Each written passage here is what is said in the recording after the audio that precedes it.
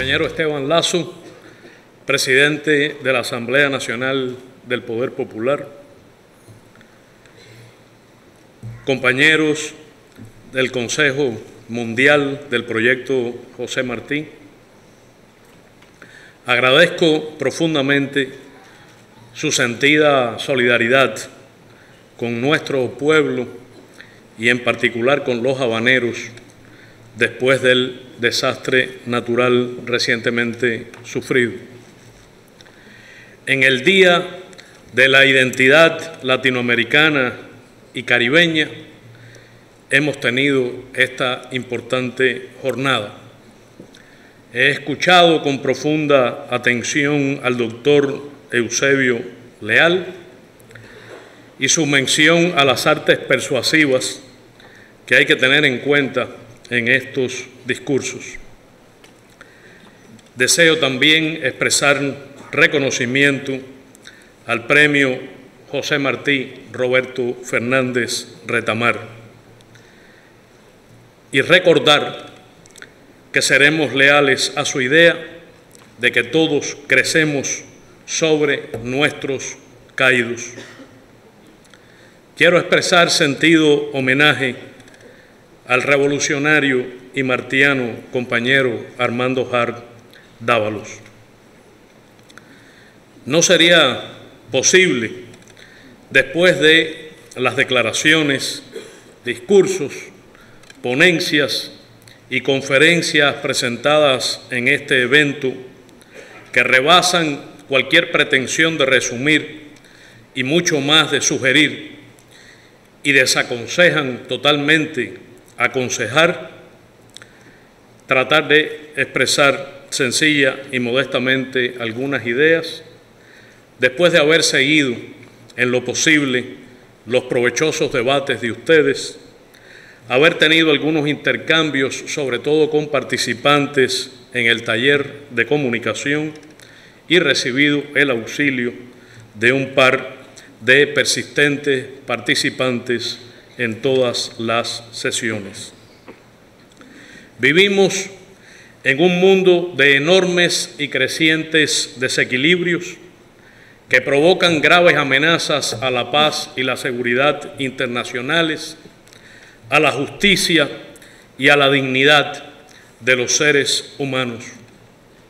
El imperialismo estadounidense se aferra a un orden unipolar históricamente desechado e insostenible frente a la tendencia al multilateralismo. Avanza inexorable el cambio climático como resultado de la parálisis estructural que produce el desarrollo capitalista en su fase imperialista y cruelmente neoliberal y su modelo de producción y consumo irracional e insostenible, amenaza la existencia misma de la especie, como Fidel anticipara precozmente en 1992.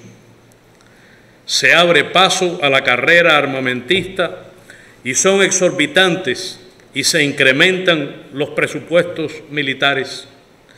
Se militarizan el espacio ultraterrestre y el ciberespacio se desarrollan armas autónomas y convencionales de gran letalidad, el desarme nuclear permanece congelado y la existencia de enormes arsenales nucleares, 100 de cuyas ojivas bastarían para provocar el invierno nuclear y constituyen una grave e inminente amenaza a la supervivencia de la humanidad. El derecho internacional es continuamente asaltado. Algunos declaran la obsolescencia de la soberanía y superfluos a los estados. Ganan terreno en la doctrina y en los hechos conceptos peligrosos como la responsabilidad de proteger, la intervención humanitaria, o se anuncian nuevos o mejor reciclados como la paz basada en la fuerza.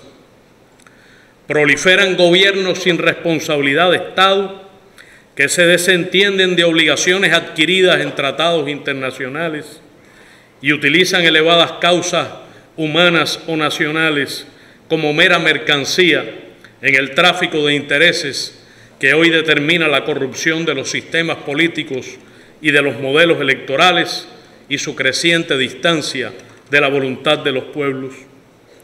Habitamos un planeta desigual como nunca antes, en que un puñado de explotadores acumula más riqueza que la mitad de las personas y que muchos países juntos, y sufrimos la tiranía de un orden político y financiero expoliador e insaciable que en aritmética obscena suma al Producto Interno Bruto las guerras y descarta los beneficios sociales.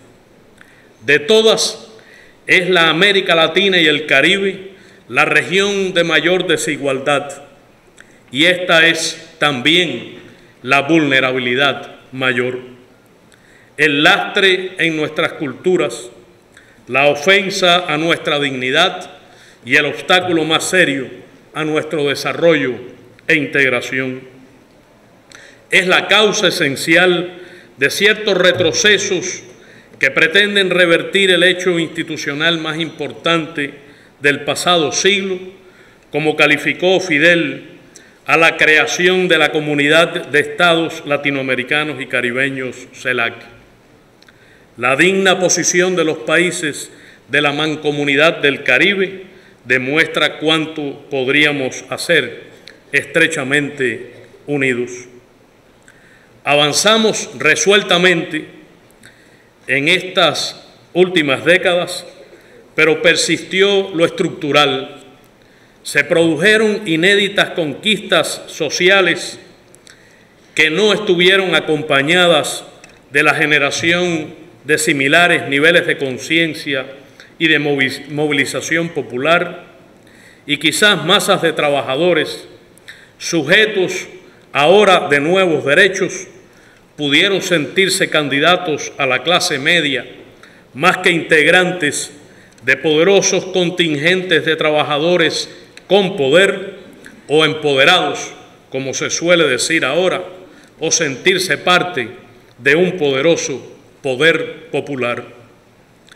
Ahora el imperialismo estadounidense decreta la vigencia de la doctrina Monroe y otras viejas y nuevas atacan la igualdad soberana de los estados y la soberanía de los pueblos, en especial sobre los recursos, y reprimen en formas diversas y novedosas la libre determinación.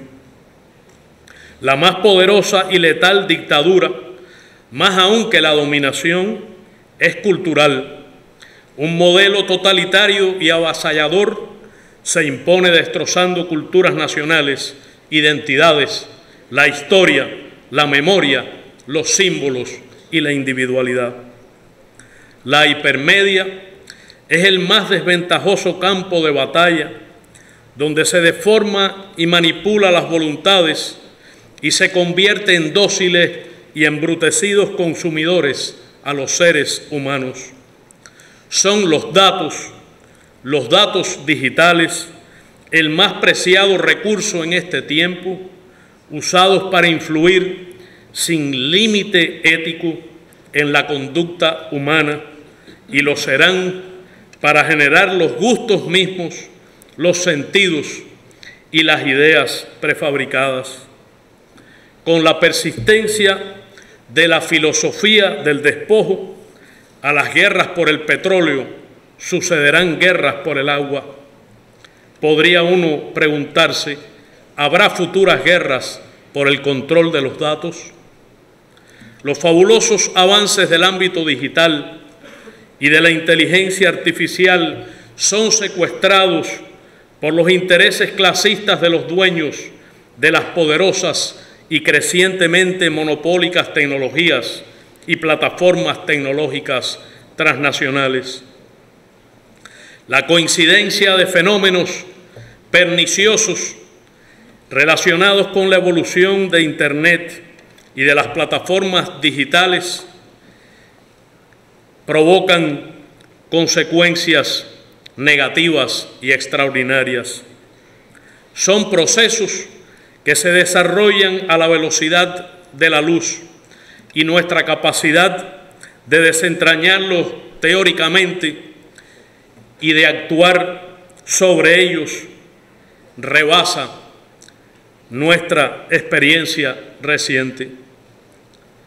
La presencia del discurso de odio en las redes sociales, que tuvo efecto en las derrotas de proyectos de izquierda, progresistas, democráticos, populares, no fueron realmente democráticas ni obedecen a que las fuerzas del futuro no manejan suficientemente aún estos instrumentos.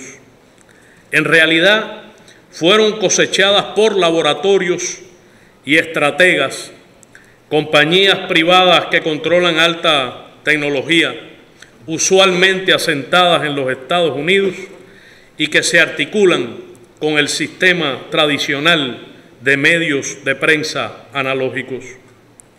Mientras estos imponen la agenda, los otros se encargan de mover nuestras emociones y planes personales. En el caso de las recientes elecciones de Brasil, la web llegó a más de la mitad de los ciudadanos bajo la influencia de grandes y escasos conglomerados. Dos grupos concentraron el acceso a contenidos y aplicaciones y la circulación de noticias en la red estuvo dominada por otros dos que ya controlaban el ámbito analógico. Las diez empresas más poderosas y ricas del mundo, cinco de ellas en las telecomunicaciones, tienen ingresos conjuntos de 3,3 millones de millones de dólares. Apple sola equivale al Producto Interno Bruto de 43 países africanos. Solo hay 16 países con un Producto Interno Bruto igual o superior al valor del mercado de Apple. Unas pocas transnacionales nos imponen sistemas operativos, aplicaciones propiamente dichas o la forma de adquirirlas y controlan los contenidos que se ven, se leen y se escuchan. Con la tendencia de las plataformas, propiedad de consorcios transnacionales, a invertir en sus propios contenidos, se produce un control extraordinario sobre nuestras ideas. El periódico The New York Times ha llamado a los datos el petróleo del siglo XXI. Ofrece a esos grupos extraordinaria capacidad para monitorear y manipular nuestras demandas y emociones para disputar nuestra atención y para generar el consumo. Hay un cambio en el modelo de producción capitalista basado en la información como materia prima esencial. A veces el debate en la izquierda y en los movimientos populares, sociales e indígenas se extravía entre tomar la calle o tomar la red como si fueran excluyentes. Falso dilema.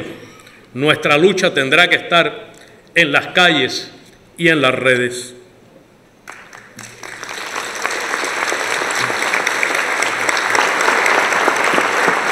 Nuestros gobiernos habrán de ejercer soberanía sobre el ciberespacio y será indispensable determinar sus límites y propiciar el debate internacional y la acción intergubernamental sobre ello.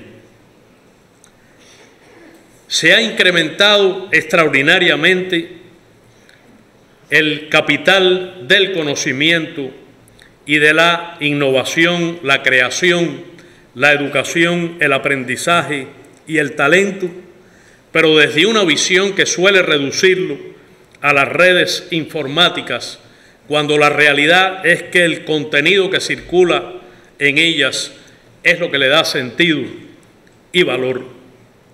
Por eso es tan importante enfrentar la extraordinaria velocidad de las tecnologías y los algoritmos con la generación de movilización popular y creación de conciencia.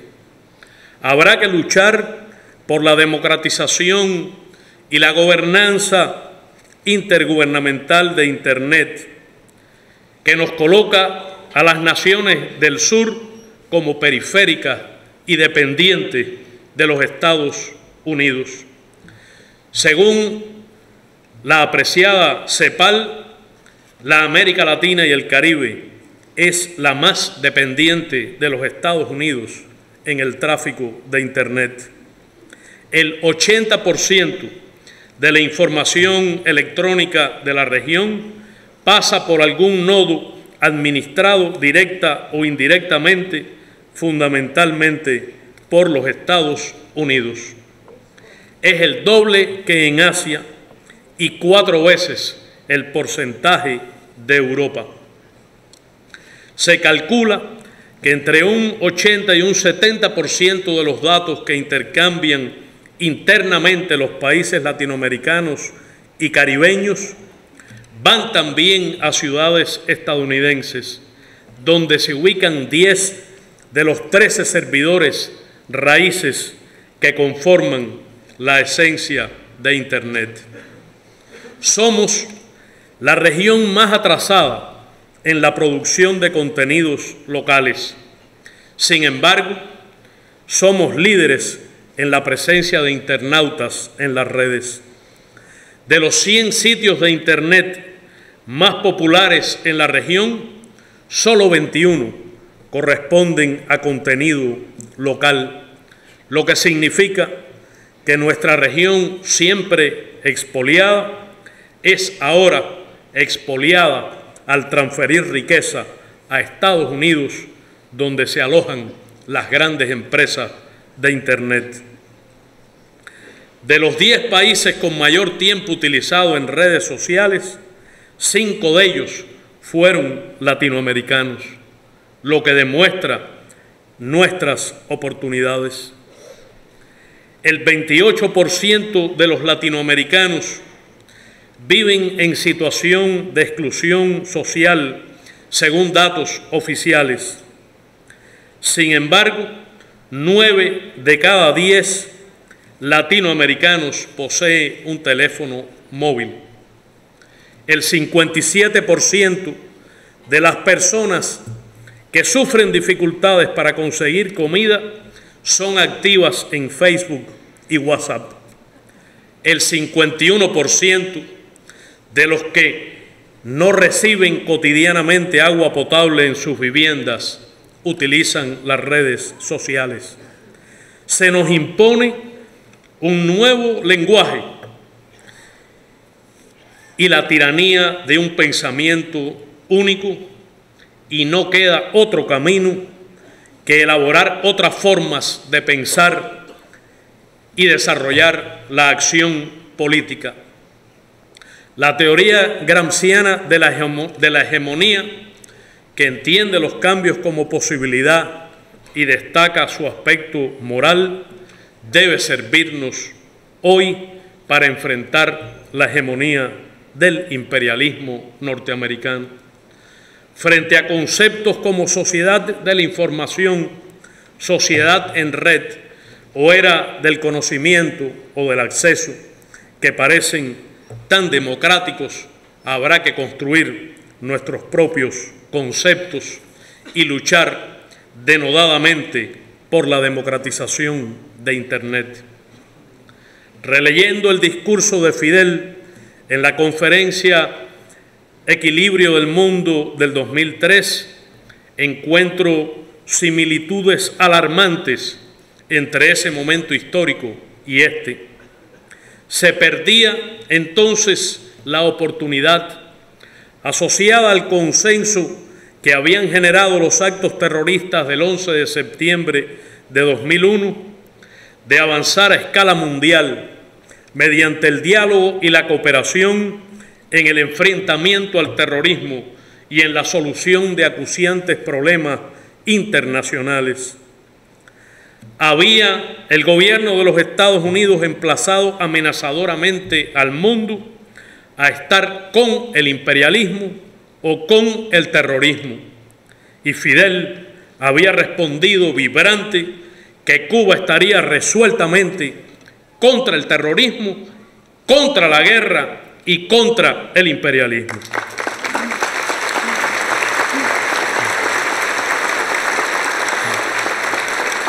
Y fueron lanzadas las guerras imperialistas con pretextos antiterroristas o asociados al desarrollo de armas de exterminio en masa, con mentirosos enfoques humanitarios que causaron más de un millón de muertos.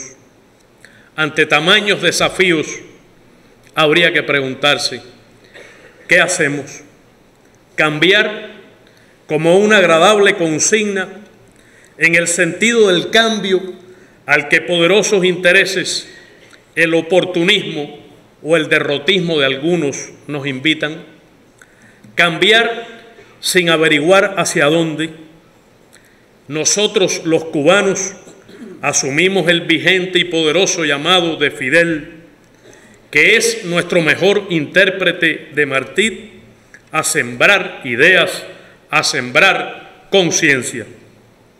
Y defendemos la idea de que cambiar hacia objetivos y métodos de movilización y concientización aún más revolucionarios en estas difíciles circunstancias es un imperativo que demanda determinación, seguridad en nuestras propias y enormes fuerzas que no debieran ser subestimadas, confianza en la voluntad definitiva de nuestros pueblos.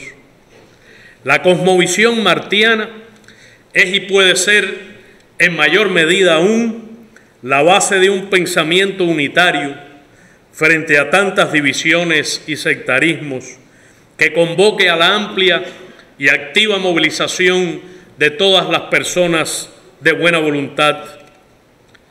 El compañero Raúl tanto insistió en la urgencia de la unidad en la diversidad. El concepto de nuestra América, síntesis de nuestra cultura y sangre amalgamadas, realización de sueños de Bolívar, nos guía en la acción.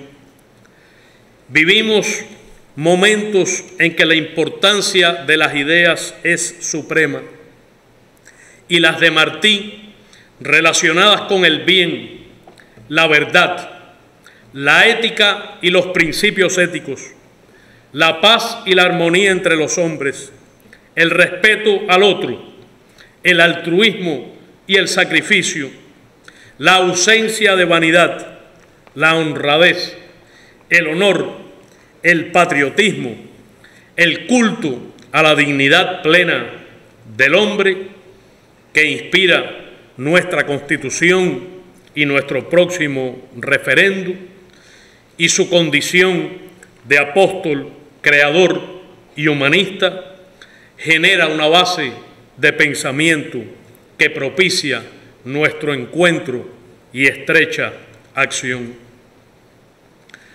José Martí entendió entonces la necesidad de aunar en el Partido Revolucionario cubano la voluntad de independencia y de abolición de la esclavitud. De su época, que se extiende hasta esta, en el concepto de que en Cuba solo ha habido una revolución y de que ellos habrían sido como nosotros y nosotros habríamos sido como ellos, como nos contó Fidel. La fuerza de las ideas será decisiva y la gran batalla será la batalla de las ideas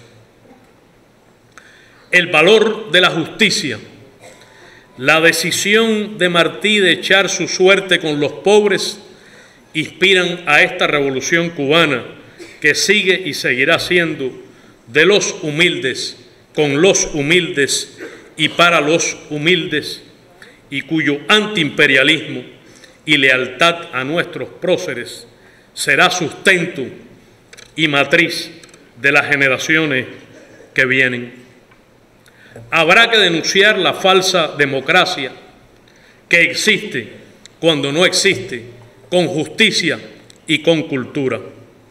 Y habrá que convocar a la movilización de todas las personas de buena voluntad, a los pueblos, a los movimientos populares, sociales e indígenas, a los trabajadores, a los campesinos, estudiantes, a nuestras mujeres, a los jóvenes, a los que se unen contra toda forma de discriminación, a los que enfrentan la represión de las minorías y los emigrantes, a los intelectuales y artistas, a los académicos, a todos. Tendremos probablemente en los próximos días un encuentro antiimperialista por la democracia y contra el neoliberalismo en Caracas y en los primeros días de noviembre, del primero al 3 de noviembre, en vísperas del 500 aniversario de La Habana, los convocamos desde ya a un encuentro antiimperialista de unidad y lucha en La Habana.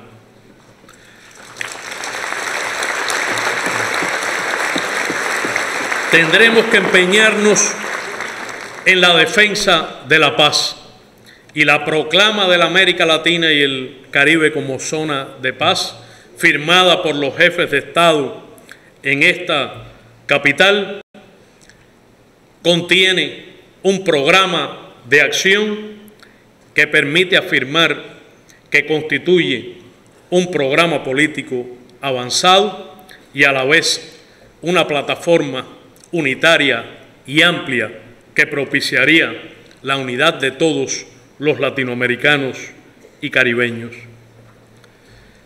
Se decide hoy en Venezuela la dignidad y la soberanía de la América Latina, de los países del sur y del planeta. Estuve presente en la reunión del Consejo de Seguridad de Naciones Unidas en que se acusó a Irak de poseer armas de exterminio en masa. Me sorprenden y angustian los parecidos hasta en las poses de algunos oradores con la reciente reunión del Consejo de Seguridad en que se pretendió acusar a Venezuela y que concluyó en la denuncia del pretendido y falso acusador.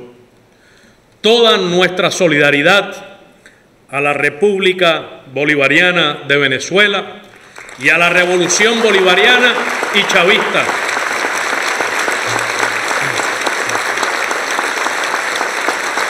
Toda nuestra solidaridad al presidente constitucional y legítimo Nicolás Maduro Moros y a la Unión Cívico-Militar de su pueblo toda nuestra lealtad al comandante presidente Hugo Chávez Frías.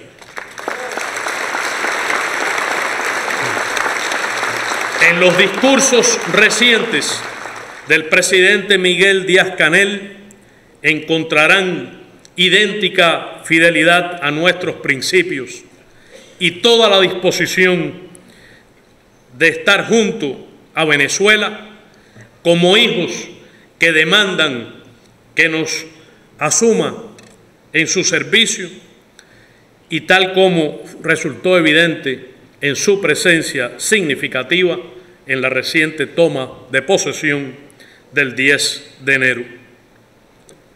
Lula libre. Lula libre. Prisionero político víctima de espurios intereses y de la campaña imperialista que pretendió impedir su elección presidencial. Seguirá liderándonos y la lealtad a su ejemplo y a su pensamiento seguirá siendo movilización diaria de lucha. Nuestra solidaridad con la Nicaragua sandinista, con el presidente Daniel Ortega, con el Frente Sandinista de Liberación Nacional, que inspirado en los ideales de Sandino y de Fonseca, continuará adelante. Todo nuestro apoyo a la revolución cultural y democrática que encabeza el líder Aymara, símbolo de la dignidad y presencia de las culturas originarias, compañero Evo Morales Ayma. Nuestro pueblo enfrentará con determinación las nuevas medidas de bloqueo que se ciernen contra Cuba. Nos preparamos para enfrentar el curso de confrontación que al parecer pretende imponer el gobierno del presidente Donald Trump. Nos preparamos para enfrentar la aplicación de engendros jurídicos contra nuestro pueblo y nuestra economía y contra la soberanía y la independencia de todos en el planeta, como sería la puesta en aplicación del título 3 de la llamada ley Helms-Burton. Hay en nuestro pueblo todas las reservas de conciencia para enfrentar circunstancias difíciles, si se presentaren, sin ceder un milímetro en nuestros principios, ni admitir sombra en nuestra soberanía e independencia.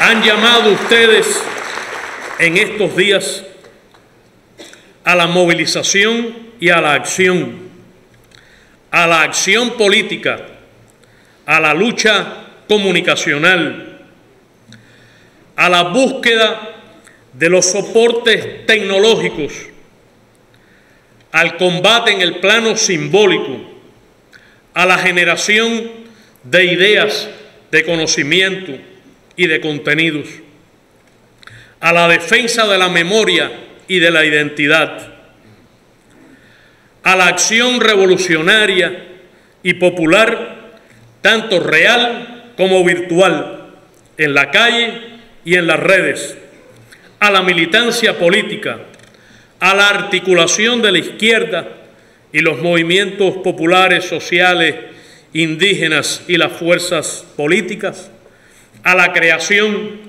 de un paradigma conceptual que nos refleje a todos y por el que todos estemos dispuestos a luchar abrazo partido.